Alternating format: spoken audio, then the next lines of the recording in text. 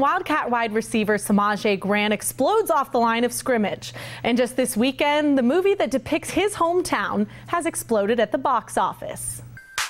Cruising down the street in my 6'4". Hey, that was dope, eh? Straight Outta Compton made $60.2 million in its opening weekend, where moviegoers were able to experience a day in one of Los Angeles' most dangerous neighborhoods. And for one Arizona wide receiver, I love it. I love the movie. The movie is amazing. I watched it twice already. The streets of Compton are all too familiar. Samajie Grant was born and raised in Compton, California. They had actual gang members on there that I actually know from back home. So that, that made it a little bit more real instead of just getting fake people playing it. Samajie grew up one of 12 children in a small home in LA.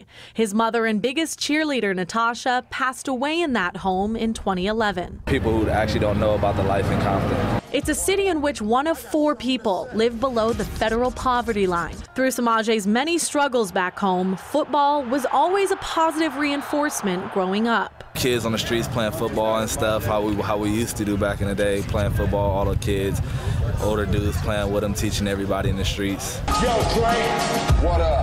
I got something to say. And just like Ice Cube and Dr. Dre, Samajie Grant searches for that Compton turned Hollywood ending. That, of course, would be on the gridiron.